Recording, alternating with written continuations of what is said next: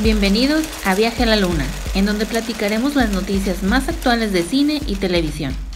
Oscars 2021, las películas que suenan como favoritas para Mejor Película Extranjera.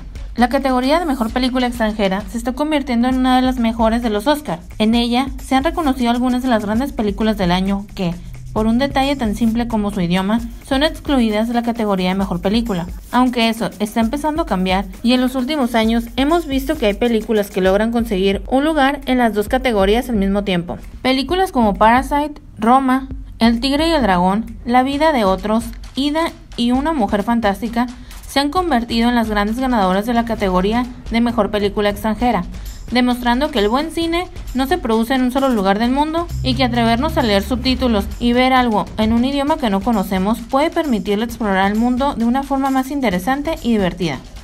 El Oscar 2021 ya tiene unas cuantas películas que suenan como candidatas fuertes para conseguir nominaciones.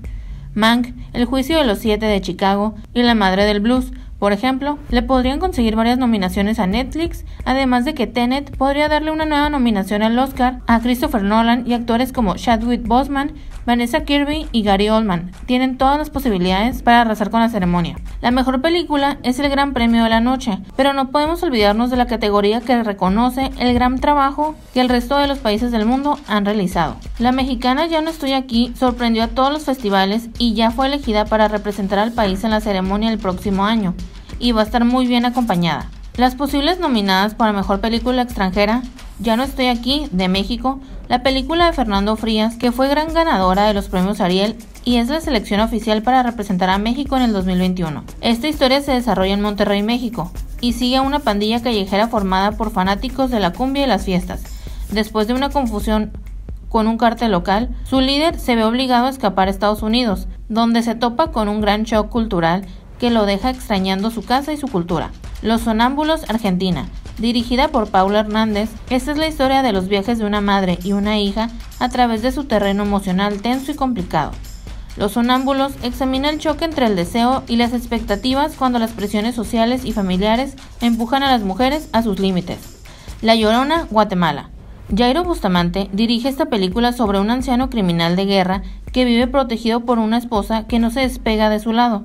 Al final de su vida, el criminal comienza a sufrir de paranoia y se debe enfrentar a la muerte mientras es perseguido por los fantasmas de su pasado. Funny Boys, de Canadá. Esta película canadiense es una historia de despertar sexual que sucede en plena crisis política en Sri Lanka en los años 70 y 80. La película se basa en la novela del autor Shyam Salvadurai del año 1994 y cuenta la historia de Argia, quien se convierte en un adulto en medio de la crisis y debe luchar con los prejuicios de una familia tradicional y conservadora para encontrar el amor y su propia identidad. El agente Topo, Chile. La directora Maite Alberdi está detrás de esta película documental sobre un investigador privado en Chile que contrata a alguien para que trabaje como topo en una casa de retiro donde un cliente de él sospecha que los cuidadores están abusando de los ancianos. My Little Sister, Suiza. Los directores Stephanie Schwartz y Verónica Raymond cuentan la historia de Lisa, quien ha abandonado sus sueños de convertirse en dramaturga y de la escena artística de Berlín para mudarse a Suiza con su esposo, que dirige una escuela internacional.